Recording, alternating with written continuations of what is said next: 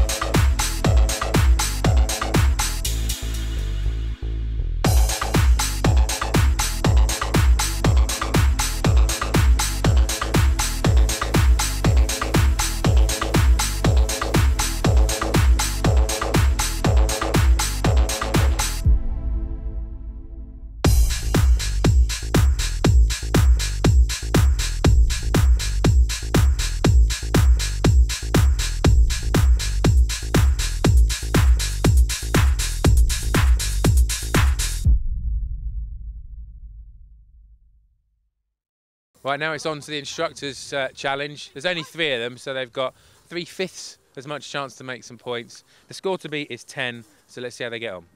Hi, I'm Simon. I'm doing the water part of this challenge, trying to get this bottle round, losing as little as I can. Hi, I'm Mike. Uh, my challenge today is to get this egg all the way around the course without dropping it or breaking it. Hi, I'm Lucy and I'm going to be doing the beanbag challenge by throwing them in the bucket when I'm up there.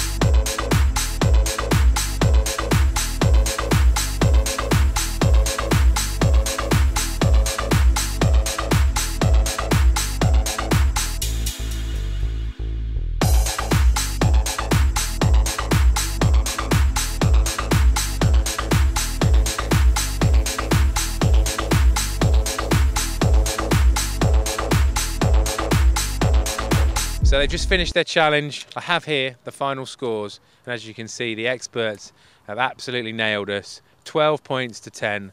So another failure for Exposed, and well done to Aerial Extreme. Whee! There they all are.